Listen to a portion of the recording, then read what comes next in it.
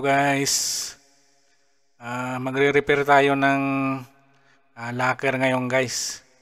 Ah, kung nakikita nyo, ang daming mga locker na sira na. Ah, yung mga lock ang problema niyan guys. Bali, papalitan natin siya ng lock.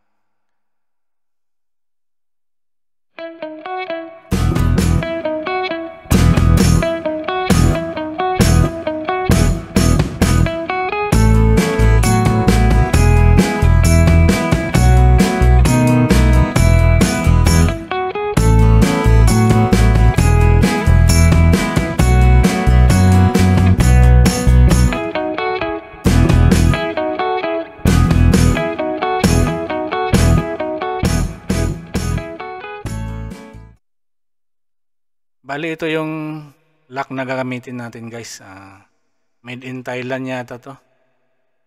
Ah, 20 mm yung size ng locker ah, guys. Kaya